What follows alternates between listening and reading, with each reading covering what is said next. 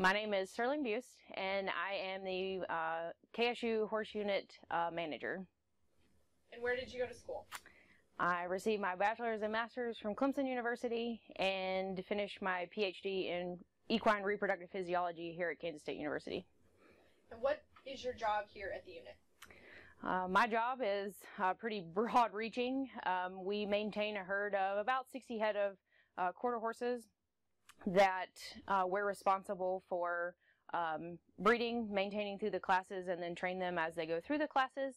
Um, we also, during the breeding season, uh, board outside mares for the vet school to breed and also stand several outside stallions. Um, so the majority of my job can kind of be broken down into kind of a breeding manager during the spring and then um, horse training and horse sale management um, the other part of the year. Uh, we're going to start off first today by talking about the different types of equipment we're going to need to collect our stallion. Uh, here at the KSU Horse Unit, um, we do almost 100% of our breeding through artificial insemination. So that means we have to artificially collect the stallion ourselves using a phantom and an AV, which we'll kind of talk about what those things are and how we use those.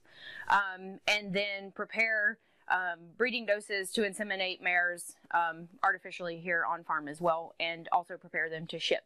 Um, there are a couple of different reasons why we use artificial insemination. Um, probably the biggest uh, being safety.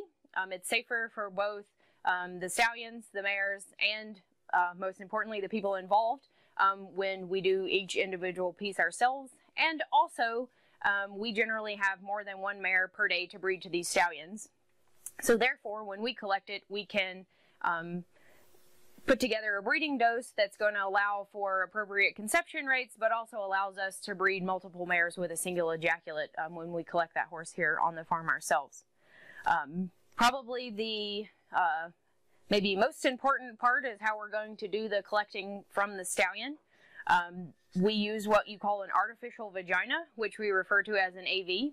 Um, and there are two um, very common types of AVs that you're going to find. Um, those two types are Colorado AV, which we have here, and a Missouri AV, which we have here. Um, there are other kind of more obscure things that some people really like to use, but I would say far and wide the two most common ones you're going to see are the Colorado and the Missouri AVs.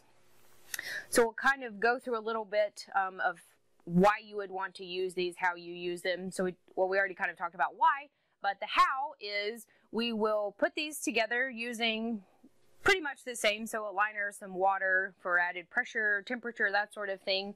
And then um, we the stallion mounts the phantom and we use the AV um, on the stallion's penis to collect that ejaculate into our collection vessels that we will have on these artificial vaginas. So the Colorado AV here is a little bit bigger one. We'll kind of go through the, each individual pieces. Um, the part here is the kind of outer casing. It's hard plastic uh, with a latex bladder on the inside. And then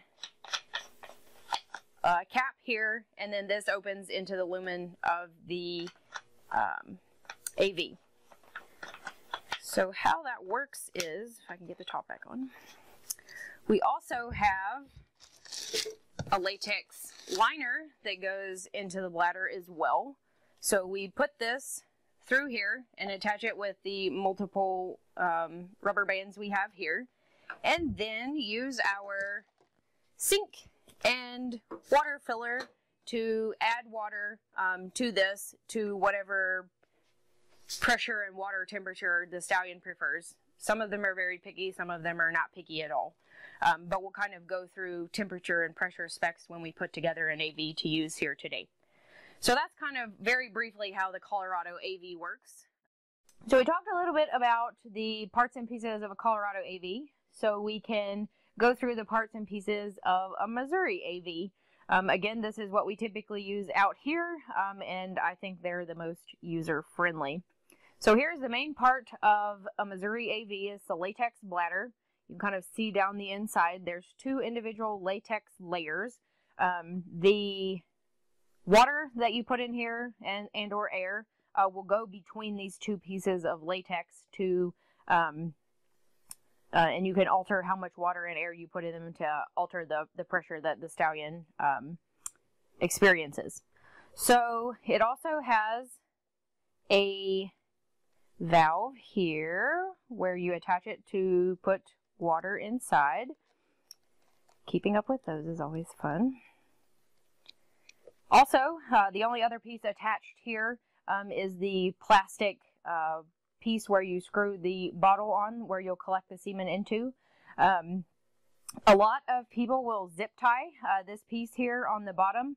However, through the years, we kind of found that it kind of wears the latex out a little bit quicker um, if you zip tie it. Um, so two things, if you don't zip tie it, make sure it's stuck in there pretty good. Uh, and or uh, utilize some um, athletic tape or something like that that goes around the bottom and connects it so it doesn't inadvertently come loose while you're collecting the stallion. So that's the main piece. Again, uh, a little bit cheaper to purchase one of these right off the bat than a Colorado AV. However, um, if the latex tears or something like that, um, you do have to replace the whole piece. So replacement costs are a little bit higher.